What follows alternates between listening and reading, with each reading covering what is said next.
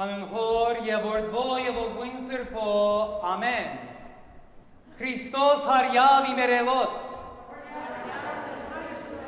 Christ is risen from the dead. Says Yevmez Medzavedis to you and to us, great news. What a joyful celebration we are here to celebrate this evening. We're primarily gathered, of course, to celebrate the fact that Christ has indeed conquered death by his death. However, in addition, this year in particular, we have also gathered for something quite unique for our parish, which is the baptism of one of our catechumens, Kyle Hall. And this is a tradition that goes back all the way at least as early as the fourth century. We have records of this happening where all of those who were gathering and throughout the year with teachers of the day in order to study their faith would be baptized during this very badarak, during this very vigil, just as we have just experienced.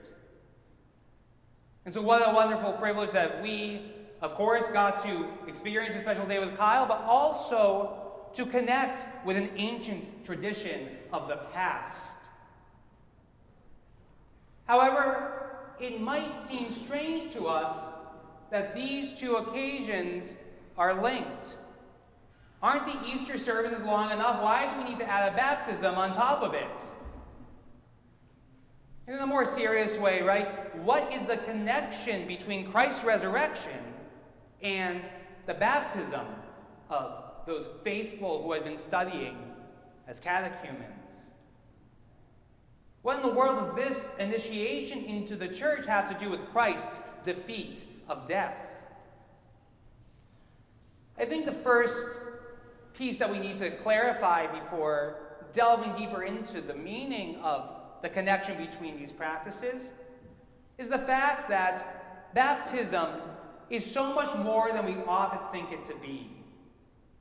Baptism is much more than simply being inducted into some sort of a social club or becoming a member of a country club. That's not what we've gathered to do today.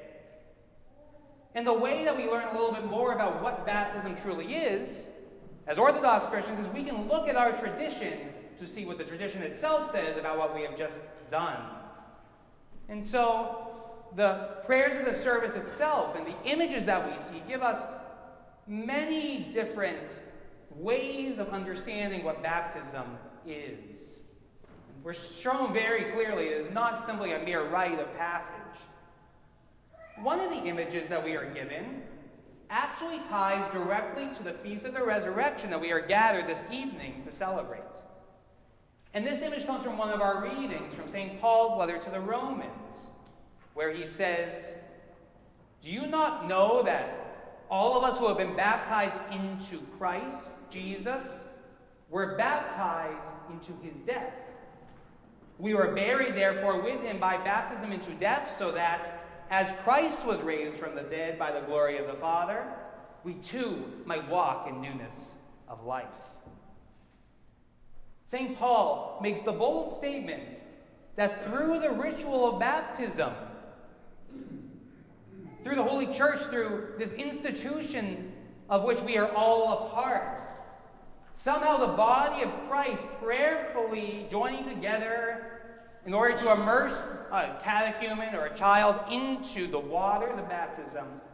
That somehow through this process, the resurrection from the dead demonstrated through Christ, which we are here to celebrate today, is somehow imparted to the newly baptized that Christ's resurrection from the dead has today been shared with and participated in by Kyle Paul, but also by each and every one of us who have been baptized into Christ's death and have been raised to newness of life in Him.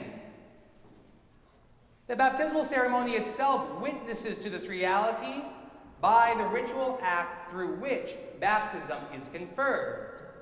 What do we do? How do we enact this ceremony?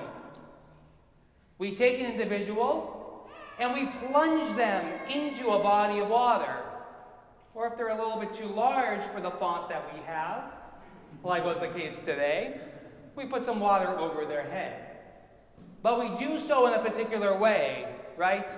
We immerse them three times, baptizing them in the name of the Father, and of the Son, and of the Holy Spirit.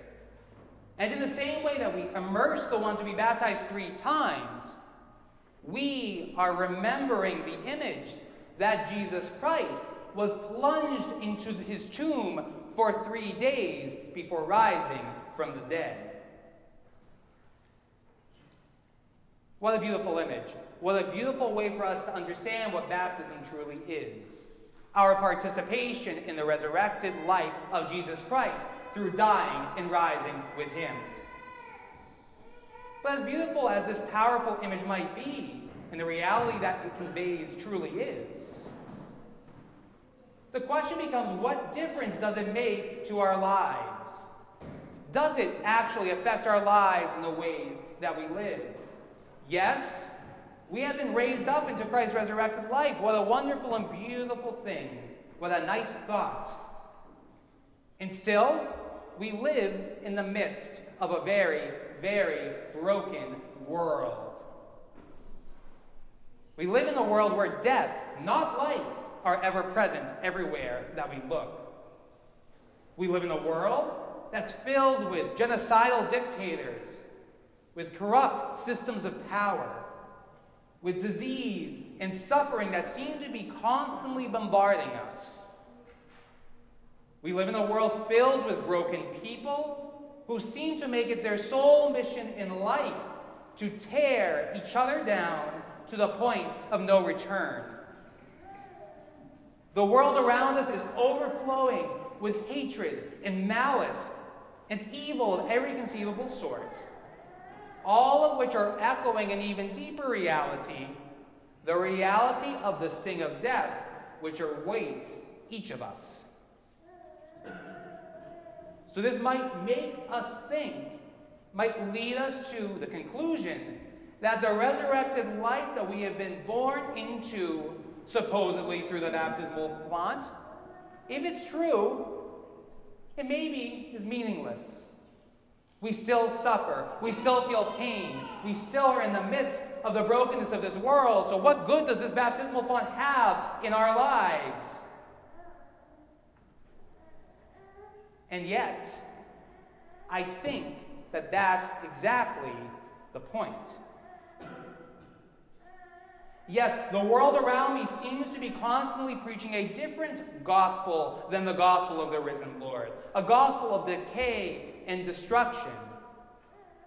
Do I want to let that gospel lead my life? Or would I rather have the gospel of the risen Lord be that by which I make my decisions? By which I make my decisions? By which I orient all that I do? The very fact that the world is falling apart around us makes the gospel all the more essential and critical for our lives. The good news that our Lord showed us through his defeat of death on this very day that we are celebrating, this death that was inflicted upon him by the same broken world that we each experience. This reality revealed to us on that very first Easter the very hope by which we can per persevere through all of the trials and the tribulations that this world could ever throw our way. Until Christ's glorious second coming, the world does still remain broken. Of course, on some level, we can and we should try to improve the world however we can, to bring God's love into it wherever we can. And yet, we know that the world will continue to try to tear us down every step of the way. But our role as Christians, is not to save the world. That already happened. That was Christ's job.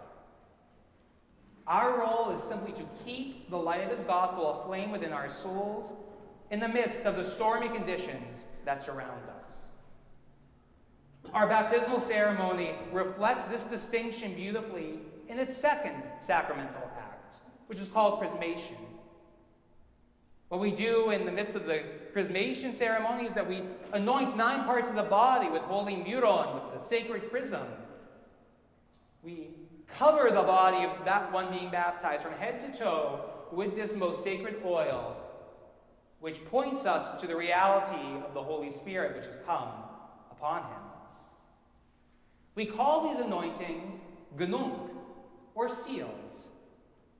In the very same way that we might seal a jar that has food in it in order to keep the outside air from entering in.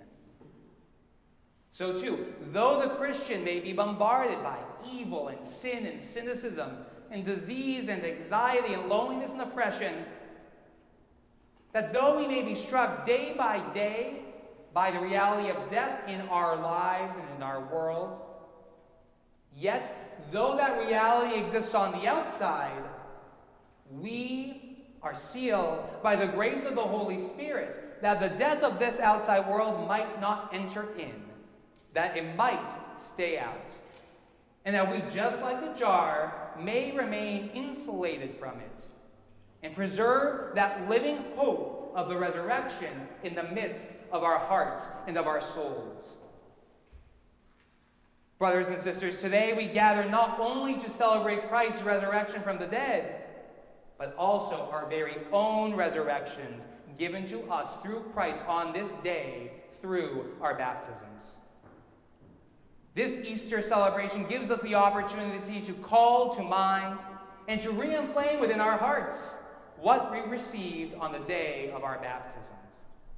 That no matter what the world throws at us, if we remain connected to our Lord and remain in the faith of the good news of his resurrection, that indeed his resurrection will vanquish all that this deadly world around us can throw at us. May Christ's resurrection live within each one of us and draw us to join the heavenly host in offering constant praise and glory to our risen Lord and Savior Jesus Christ with the Father and the Holy Spirit. Amen.